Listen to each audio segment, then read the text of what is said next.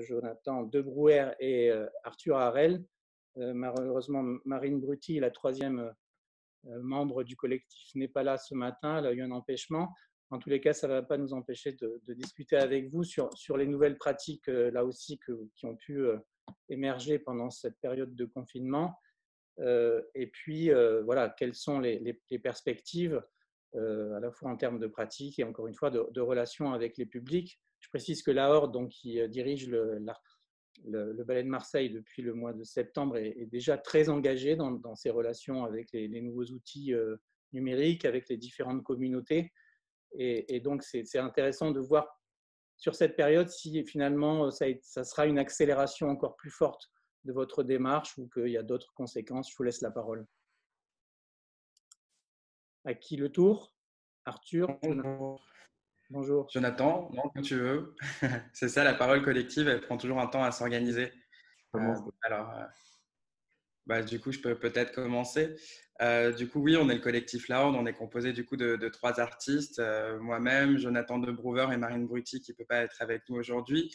on dirige le Ballet national de Marseille depuis le 2 septembre. Et c'est vrai que nous, on, a un travail d'auteurs et d'artistes, euh, chorégraphes, metteurs en scène qui s'intéressent beaucoup aux communautés euh, sur, euh, sur Internet. on est tous les trois issus de formations différentes et on a tous les trois des médiums différents et depuis dix ans qu'on travaille ensemble, les communautés qui sont créées via Internet de danse nous, nous ont passionnés.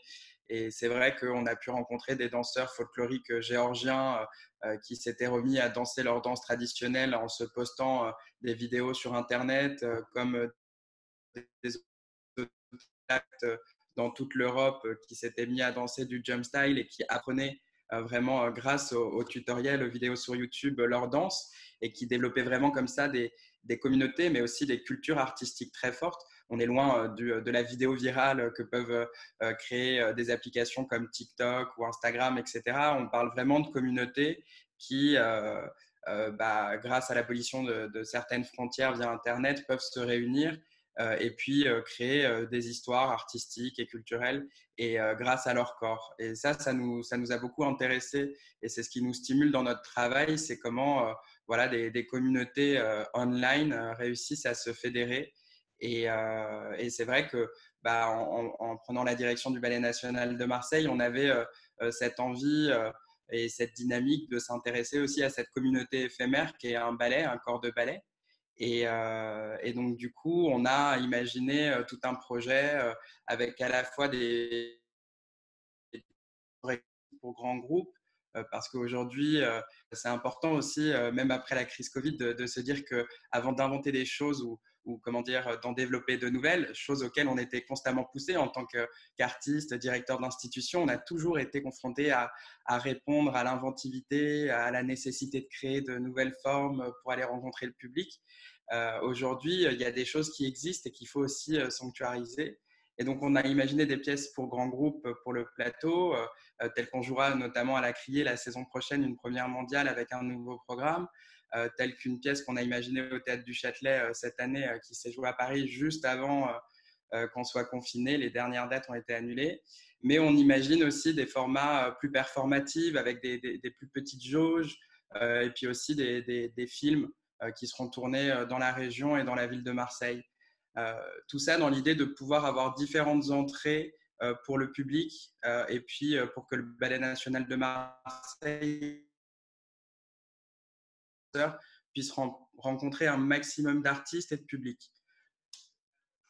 Et c'est vrai, que... un petit peu la... c'est vrai que nous, on était en train de jouer justement au Théâtre du Châtelet à Roumézodiou, la dernière pièce avec euh, le, Ballet national de Marseille. Et on a vraiment eu les différentes étapes. C'est-à-dire quand on a commencé à jouer au Châtelet, en fait, on était, euh, il y avait toute la salle, euh, toute la jauge de la salle qui était, qui était, qui était ouverte. Et en fait, après, on a eu la première étape du gouvernement, justement, qui a fait une restriction à 1000 places. Donc, euh, l'État du Châtelet a décidé de continuer, justement, à, jouer la pièce. Et après, en fait, le, dès le vendredi, où il nous restait quand même encore trois représentations, on a eu l'interdiction de jouer euh, parce que c'était tombé à, 100. Donc, euh, on a dû mettre en place, justement, toute une organisation, justement, de, de rapatrier les, les, danseurs, justement, à Marseille, chez eux.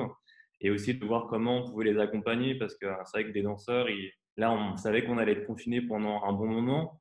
nous, on avait été en plus assez, assez on a été confronté justement à, vraiment à beaucoup de public. Donc, potentiellement, en fait, on ne savait pas si on, avait, on avait eu le virus ou pas. Donc, on a vraiment joué la quarantaine de sécurité justement pour pas que les danseurs aillent en famille et, si, on était contaminé pour, pour bloquer un peu cette contamination-là.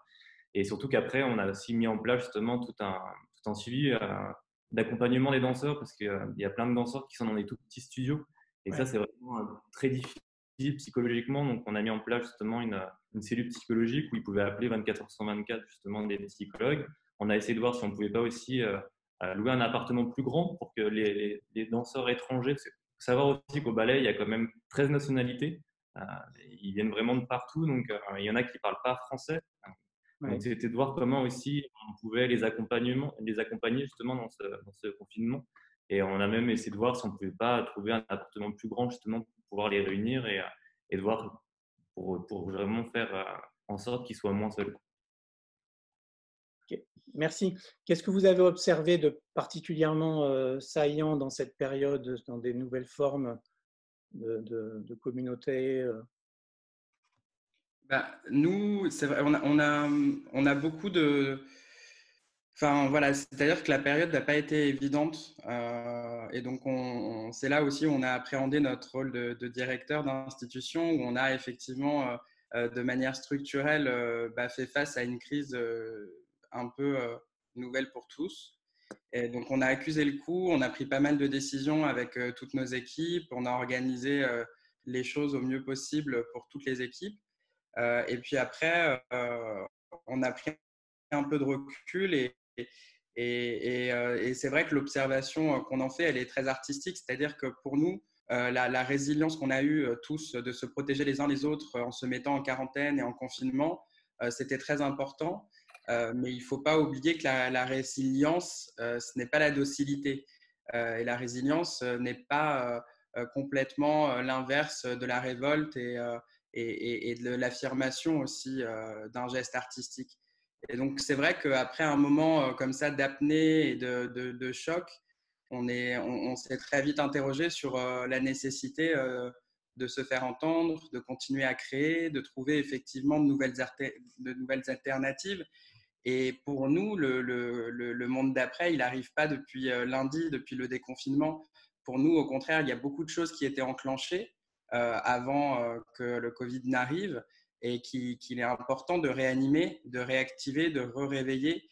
Euh, il y avait beaucoup d'effondrements, mais qui peuvent être aussi positifs qui étaient enclenchés dans notre société et notamment sur le décloisonnement de nos institutions et puis à l'endroit de la culture, on était vraiment à un endroit où justement on était en, en, contact avec une multitude de publics et pour nous c'est important aussi de rappeler qu'il faut sécuriser ce qu'il existe et puis euh, nous permettre en tant que directeur, artiste, euh, acteur, danseur, comédien, de, de, pouvoir bah, réinvestir nos salles, réinvestir nos fictions, réinvestir le quotidien des gens comme il a été investi grâce à Internet et les réseaux quand tout le monde n'avait plus possibilité d'aller au cinéma ou au théâtre. C'est très important et ça ne veut pas dire que la santé, l'éducation, etc., euh, viennent euh, se confronter à nous. C'est simplement pour nous, il est essentiel de rappeler que demain doit être fait de plus d'éducation nationale, de plus de santé publique et de plus de culture. Parce que Churchill, il disait souvent, il, a cette phrase qui dit si on ne se peut pas pour la culture. Et nous, c'est vrai que c'est. On a raté la phrase. Qui nous a apparu là en cette. Arthur, on a ah. raté la, citation. c'est Churchill qui, dit, qui, qui, qui, un jour a répondu euh, si, on ne se bat pas pour la culture, pourquoi se bat-on? D'accord. Bon. Merci. On va passer la parole. Merci pour, euh, pour cette analyse et ce décryptage. Euh, on va passer, et cette vision aussi